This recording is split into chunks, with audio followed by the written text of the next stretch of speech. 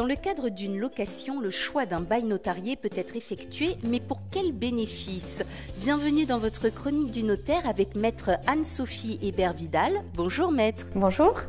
Quels sont les différents contrats possibles entre un locataire et un propriétaire Alors, à partir du moment où on est en bail d'habitation, hein, c'est le sujet que nous allons évoquer aujourd'hui, il faut savoir que pour l'essentiel, les baux sont régis par la loi de 89. Alors, la loi de 89 impose un écrit, hein, ce qui signifie qu'on ne peut pas uniquement faire un bail verbal. Euh, à partir de là, on pourrait tout à fait faire son bail entre le propriétaire et le futur locataire, entre eux. C'est un, bail sous sein privé. Ça peut également être fait par l'intermédiaire d'un professionnel, un agent immobilier, un gestionnaire. Ce serait également un bail sous sein privé. Et puis la troisième hypothèse, c'est le bail qui est fait par un notaire, donc un bail notarié. Le bail notarié apporte-t-il des garanties supplémentaires? Bien entendu, le bail notarié est un acte authentique. Hein. L'acte reçu par notaire a ce caractère authentique qui lui confère la force probante. Ça veut dire qu'on ne remettra pas en doute le contenu. Euh, et c'est une bonne chose puisque le notaire connaît très bien la loi de 89. Il a donc pour mission de l'expliquer au client, ce qui est très important. Il est forcément important que le locataire et le euh, bailleur connaissent leurs droits et leurs obligations.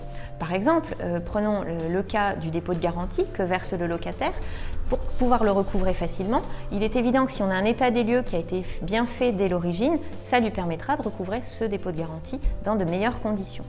Et puis le, bail notarié a également euh, la force exécutoire, c'est-à-dire qu'il a la même valeur qu'une décision de tribunal.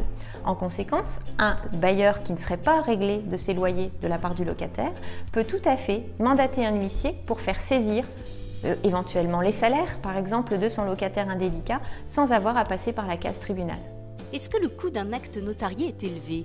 Alors, à l'occasion du bail notarié, le notaire va faire toute une série de vérifications, il va rédiger l'acte, il va le recevoir en présence des clients et puis il va délivrer la copie exécutoire dont nous parlions tout à l'heure.